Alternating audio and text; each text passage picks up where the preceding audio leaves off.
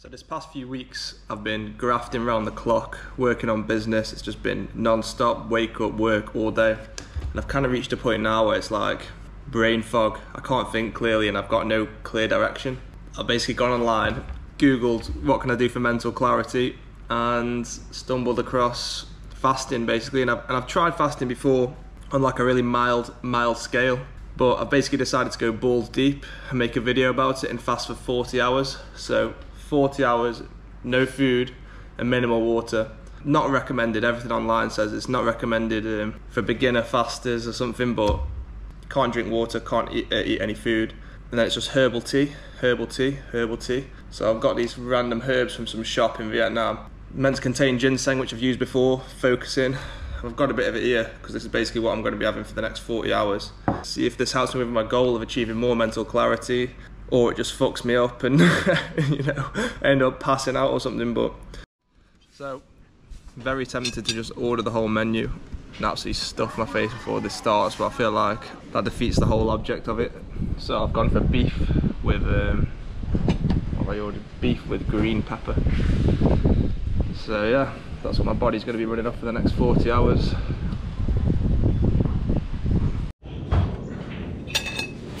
Oh, it's arrived. No peppers, but take a fat steak any day. Get off. Can't use a chainsaw for this.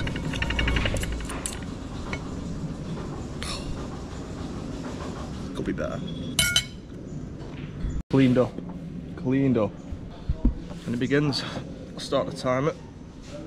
Do we have a timer? There we go. 40 hours starts now. Let's have it. So I've got my water, 1.5 litres here, but I've got more bottles, I'll just drink that after. Baking soda, basically it's for your stomach acidity. I think that's gonna be the saviour. These limes that I asked for, it's meant to be lemon, but they only had limes at the hotel reception. Yeah, just cut them up. Try to squeeze them on the way in. Got a bit of that juice out. Baking soda. Put a couple in.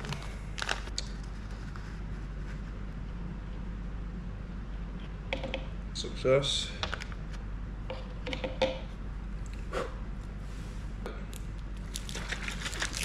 Smash this off. It's alright, you know. The herbs are brewing. First tea of, out of three for today. There we go. Lovely.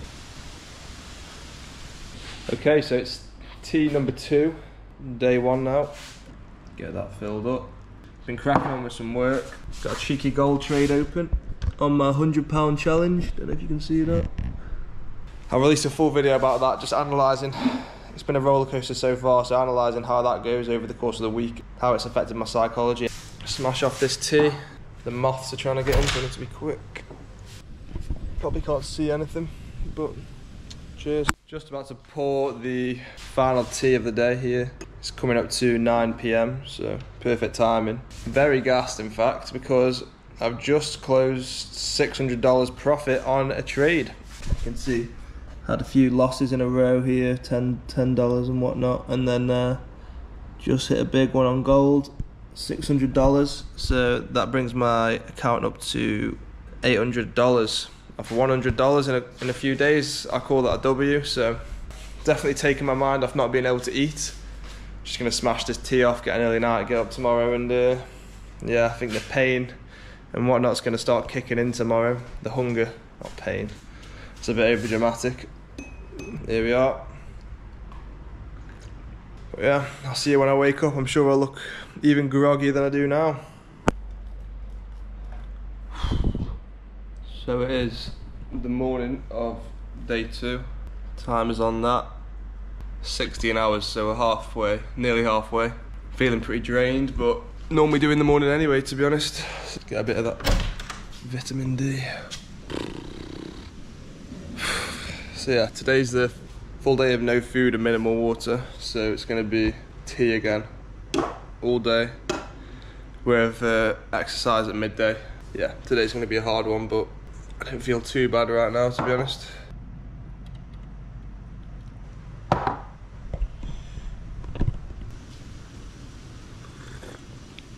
Okay, so it's coming up to 10 a.m. now, about 18 hours in. Got my hands on some of this shilajit, essentially like mountain resin, meant to be good for um, testosterone levels and stuff like this. Tastes like power, whatever it is. Meant to mix it in with the tea. Got to like melt it into the tea for it to come off. Felt knackered this morning, as you can probably see from the video. Had that stomach cramps and that.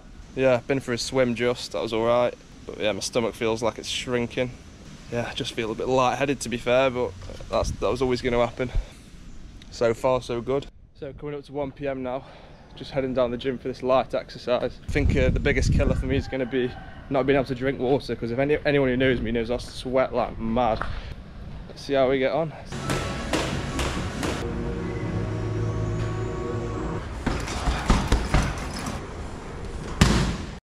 Finished.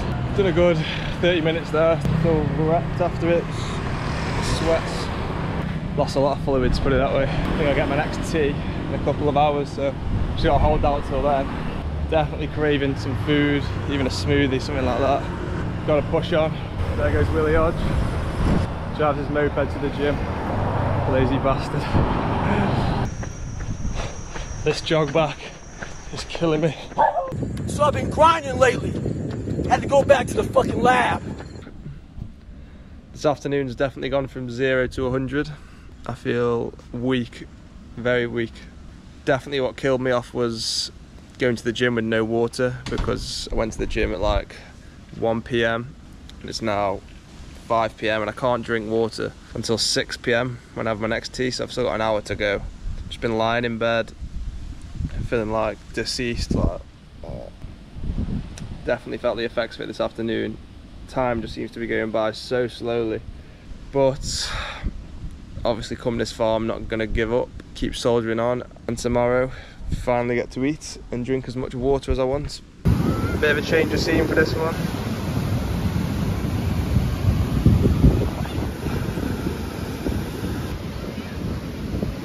now 9.30 coming up to 30 hours here with the last tea of today absolutely written off I must say started to take a bit of toll on my skin as well uh, tomorrow, early wake up, 6 or 7 ish. One of these bad boys. And then, yeah, as the timer starts to come to an end, 40 hours, I'll have a big bottle of water with uh, lime and baking soda again. And finally break the fast and have a nice meal. Can't bloody wait, to be honest. So, guys, I thought I'd do a bit of an update for Chris. His curtains are still shut, you know. He's usually up at about 6 a.m. Still no sign of life for Mr. Chris. So clearly fasting does exhaust you and completely cleanse your system. So we'll see what happens. He's alive lads. 42 hours. Woke up at like 1am and couldn't get back to sleep. And then ended up sleeping till 10 to 10. 42 hours in. I can finally eat and it's actually to end up being more like a 43 hour fast than a 40 hour. Well, thinking I'm dead. but yeah, finished. So let's get at it. So, my closing thoughts are yeah, definitely the slowest three days of my life. Uh, the biggest part of the challenge was not being able to have water when I wanted it. because I normally drink a lot of water. Uh, my skin's definitely took a toll. Um, yeah, but surprisingly, waking up now, I feel very energetic. Surprisingly energetic.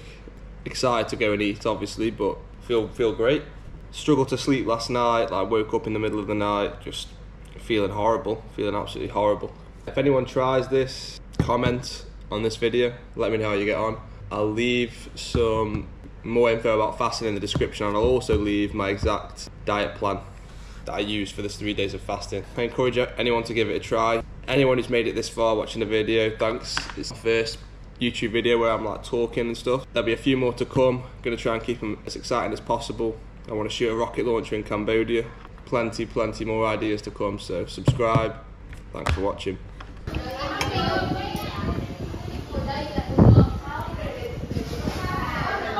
Feel good? Mm. Finally.